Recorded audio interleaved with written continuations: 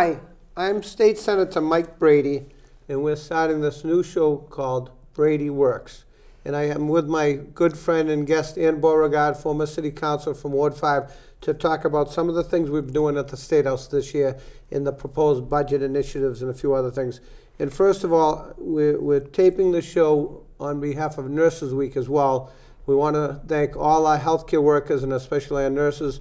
And this is a week to celebrate all the hard work they've done. So God bless all the nurses out there. Uh, and also, if anybody wants to reach me, my number at the State House is 617 722 1200. 617 722 1200. And my email at the State House is michael.brady at masenate.gov.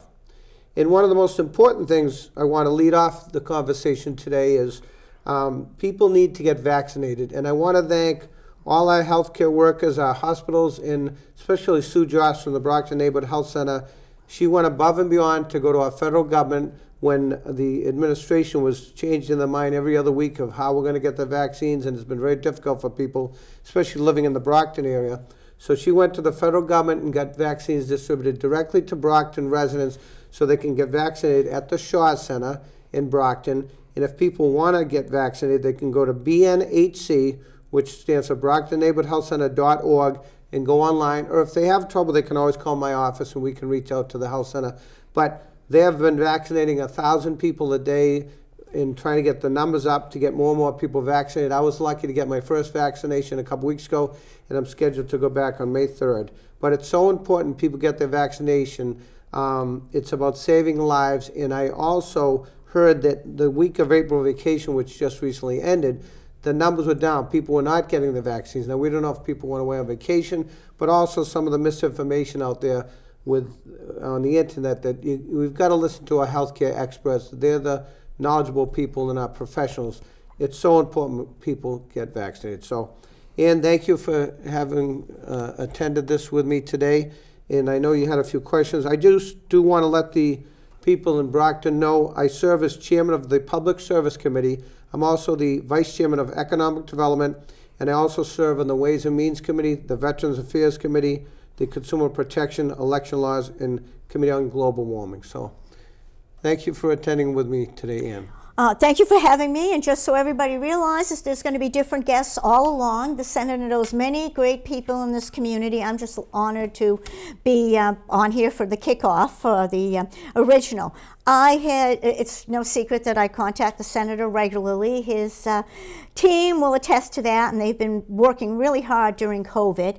So I'm going to mention that you highlighted that you're with economic development, and I had mentioned that I found it really important to let the small businesses in particular know what is available. It's a little complicated, they realize, and just mention how your team has been helping small businesses navigate um, these uh, uncharted waters. Well, we had reached out to many businesses, especially not just the Brockton, but the South Shore. There were grants available, and we helped some of the businesses in, uh, in the area to apply for grants up to $25,000. And we're working with both the state and the federal government to get these resources available to the businesses. And it's been tough on a lot of businesses. A lot of businesses have struggled out there. Um, some businesses have closed, like in Hanover and some in Brockton, that's part of my district, and people are suffering. And some businesses were able, through these grants, to keep their employees employed, so they helped to pay their bills, to pay their rent, their mortgages, and so forth. And uh, they were able to apply and receive some grants in some of the business in the downtown area of Brockton. And we're reaching out because hopefully, with the new federal initiatives, that there's more funding coming that hopefully we can help these businesses apply for more grants down the road. And that's just one aspect. I know there's a lot of bills out there. There's thousands of the, and thousands of bills that get filed in the legislature every year. And another big issue is sports betting that a lot of my blue collar constituents, I don't do it, I'm not good with sports betting, but a lot of my constituents, uh, they want it. Every state around us has put it forth, and uh, we're losing revenue. And people are driving to other states, or, or they can go on the internet and have other resources. And the money could be coming back to the Commonwealth to provide jobs for people and revenue. And the big thing is revenue. And um, thank goodness of the efficiency of the colleagues in the State House, in the House and the Senate. We were able to apply and get more local funding for our district. And school funding was put on hold last year with the Student Opportunity Act, which has been so important. We passed it a while back, but because of the COVID epidemic last year, it got put on hold. So this year, we're going to be implementing it. In, in, for instance, the local aid coming into the city of Brockton for this coming fiscal year is going to be over $212 million. It's going to be the highest increase ever in the history of the Commonwealth, never mind the city of Brockton. And I was a big supporter of the Education Act years ago and all these other initiatives. I served when I was a little younger on the school committee in Brockton. I served as a city council before getting into the State House, and I know how important education is for our students. And I'm a big supporter K through 12, not just the uh, first grade to 12th grade, but early childhood education and also our colleges. We have Massasoit Community College in Brockton. I uh, went there and when I was after right after I graduated from high school, and then I worked there with a grant to help women and minorities get jobs in the construction field. And a lot of people that can't afford to go to these top expensive colleges, it's a great local community college, and then they can use these transfer credits to go to colleges such as Bridgewater State and other universities. So Bridgewater University it's called now, but so important to support our colleges as well and our local state universities. So I'm glad to be a part of that. The other thing is unrestricted local aid, which is so important. We've done an increase this year for that as well, and that's going to be over $23 million of unrestricted local aid. And for Brockton, that's an increase, that's 23 million just for the city of Brockton plus, but it's an increase of over $778,000.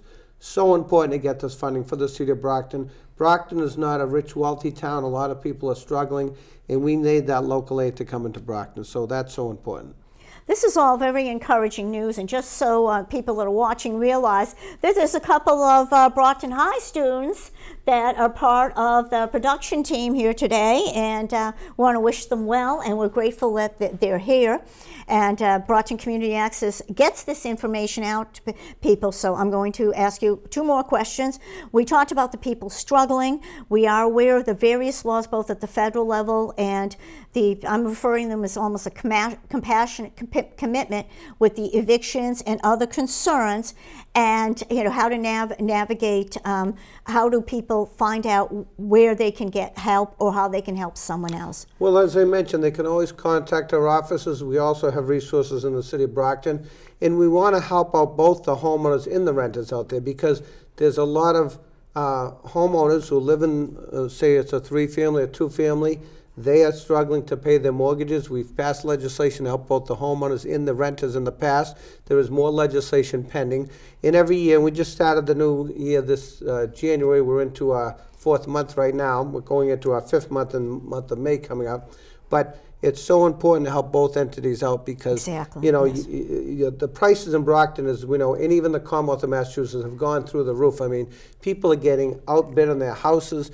They're getting more money than they put the house on the market, but it becomes unaffordable for your average person.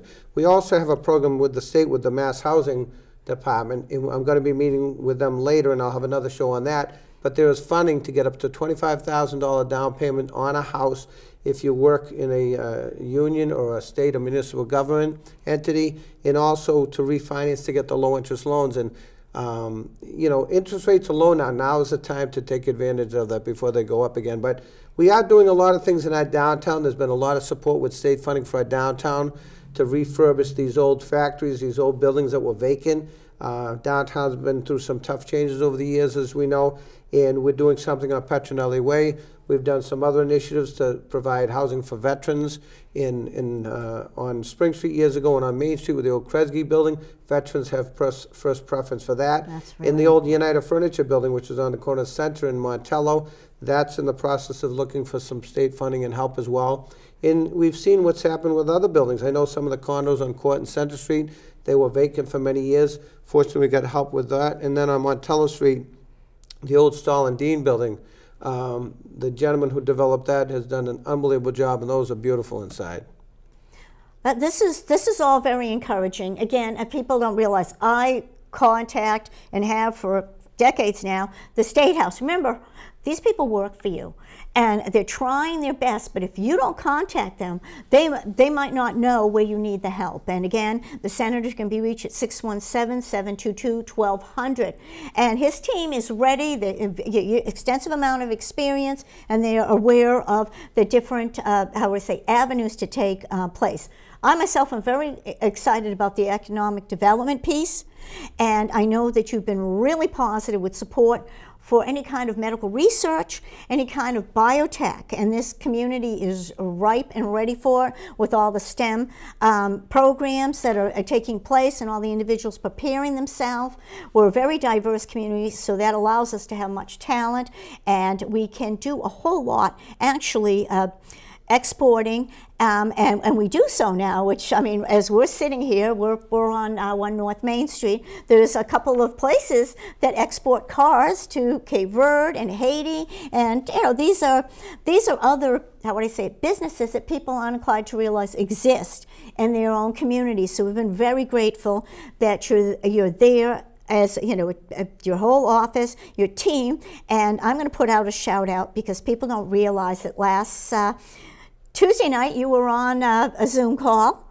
This was really positive with uh, Mass Cultural uh, Council, and there's a new director, and he had good news for us. And I wanted you to highlight how that's an opportunity for people. Again, we know the small businesses suffered, the restaurants, little gift shops, all these great places, but also, um, you know, a talent, musician, and performers. And since Brockton is, how would I say, um, very blessed to have incredible amount of talent, and I just wanted to allow you to highlight on that. Absolutely, and, and when we had the Zoom meeting, I mentioned Vinnie Macrina, who was a music Thumbs director up. in Brockton High School. And Brockton High has some of the most greatest talent.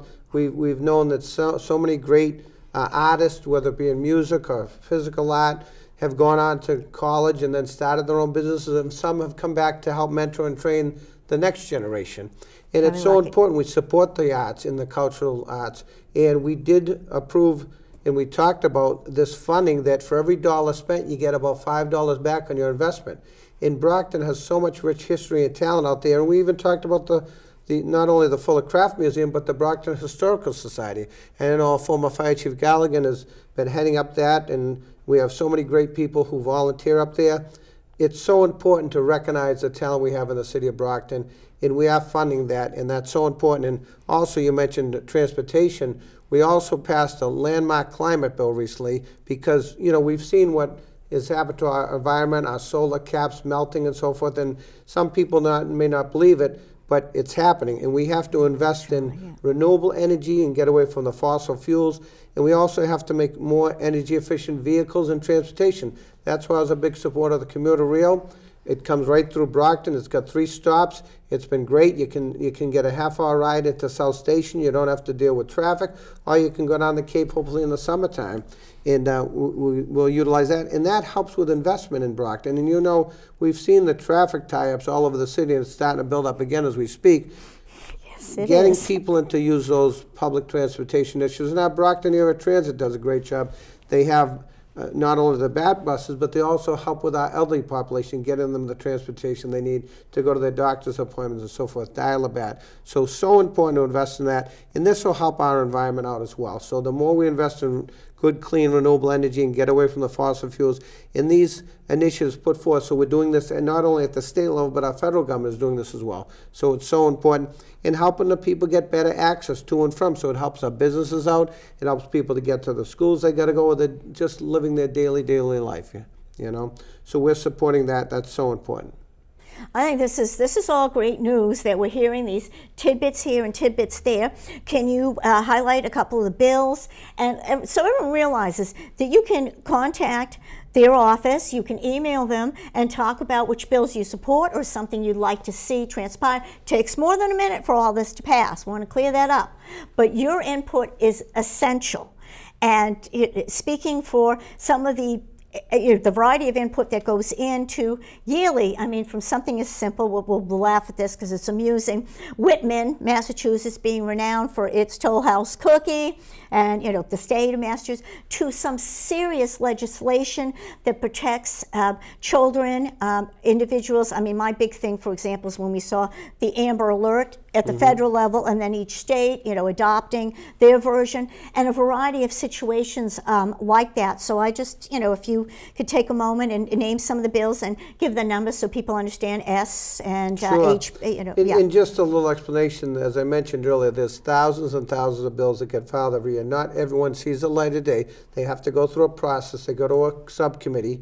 And as the committees I mentioned, I serve on public service, so I'll be hearing some of the bills come before my committee I chair. There'll be some going to economic development, some going to housing. Uh, it all depends on what area of the state that this funding or these pieces of legislation go through. I serve in the Veterans Committee. We've passed some great veterans legislation in the past. We're working on a veterans bill as we speak, but it still needs some tweaking and fixing because not every bill is perfect. And we want to protect the working families out there when we pass legislation too. So they have an opportunity to get training and to get these jobs. It's so important.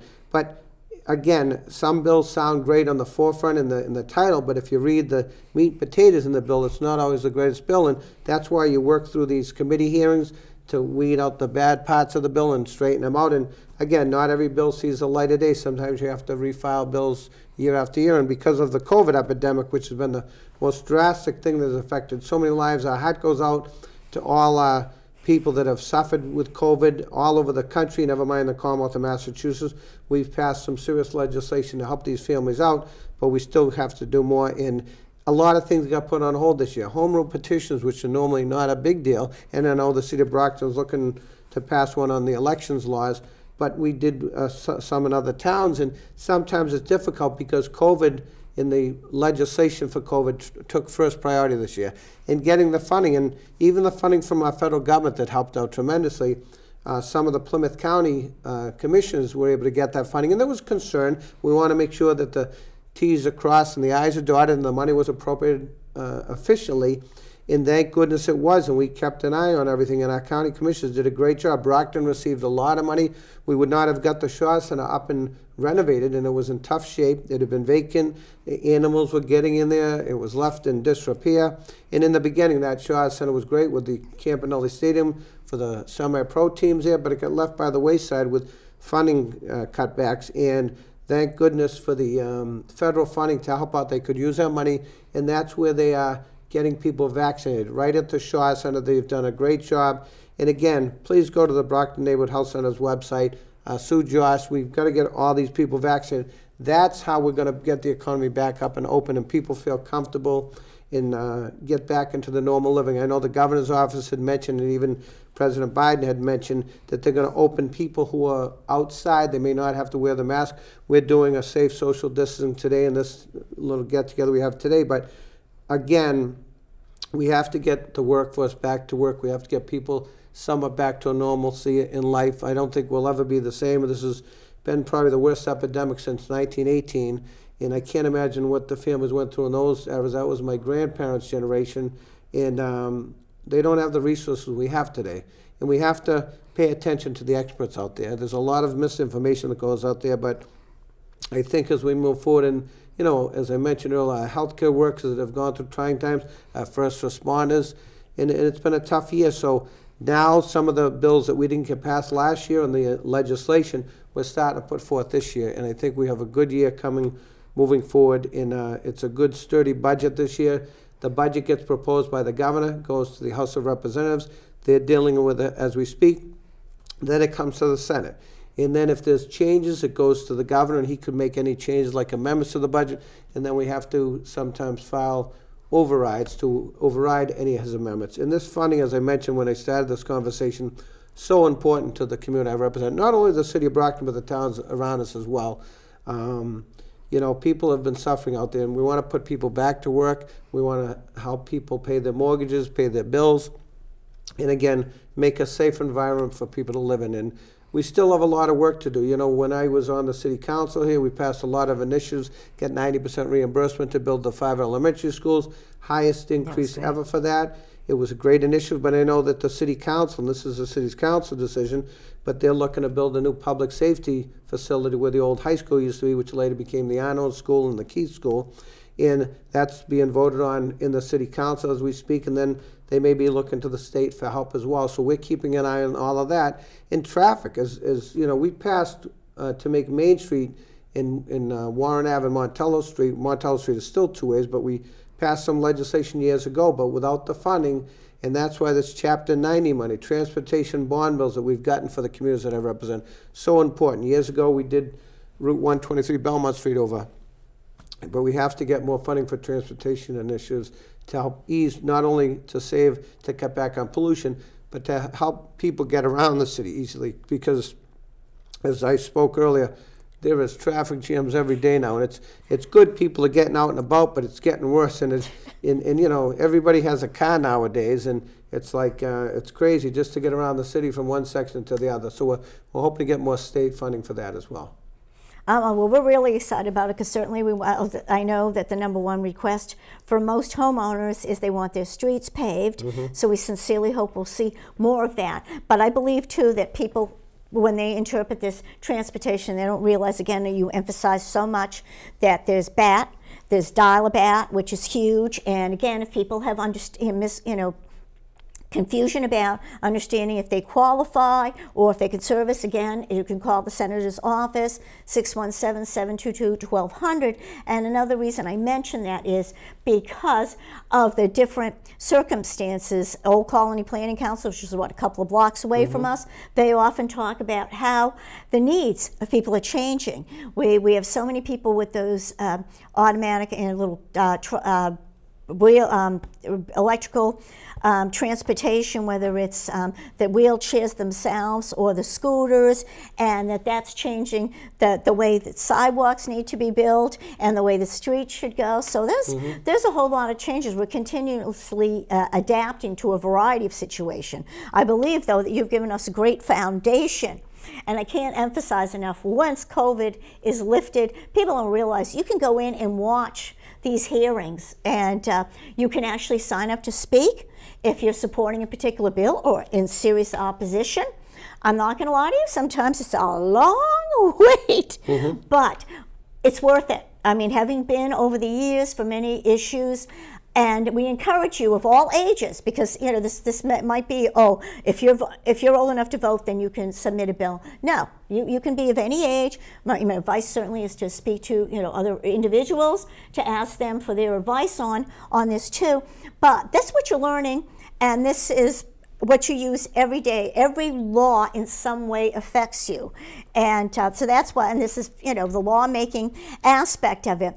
But I know that they're going to tell us soon that we're winding down here. we're going to have to, uh, but I'm hoping that you, you can highlight more, a little bit more about the COVID and get everyone feeling more comfortable about it. We're lucky we have the resources and times and, and days and what have you, and just you know highlight a couple of other things that you anticipate coming. Yes. Well, well this, this COVID has been probably the biggest priority lately, and, and I want to thank the Brockton Emergency Management. They have a, a bunch of masks, and this is my Brockton Boxers mask here, and I know you have your mask on you. And um, they have plenty of supplies for safety equipment, hand cleansers, and so forth. They have a plenty of stock. It was so difficult in the beginning to get that equipment in here. Now they've got Sure plenty of supplies. They've been very helpful to me when I need to get residents masks or other equipment. Um, we are increasing testing. Please don't fall for the faulty information out there. We need to get as many people vaccinated as possible. It's so important. And again, the crew up at the up at the Brockton Neighborhood Health Center at the Shaw Center is doing a great job. And they are vaccinating elderly people in the district. So if you cannot get to the health center or get to these other sites, please don't hesitate to, to contact the BNHC at bnhc.org. They are going into the high rises, vaccinating people, elderly people that cannot leave their home. And I just want to thank uh, the staff here at Brockton Community Access and the volunteers and all the students helping out today. You're doing a great job, and I'm honored to be here and honored to be your state senator and my own staff in the State House. Nobody does it alone. I have a great group who works with me, not only at the State House, but locally in the district. And now, because of COVID, a lot of things has been done virtually. Hopefully, we'll slowly get the State House back up and open. But we've had COVID cases in the State House, and we've got to protect people's lives. That's the bottom line. Thank you. Thank you, Anne, and thank you, everyone listening and watching today.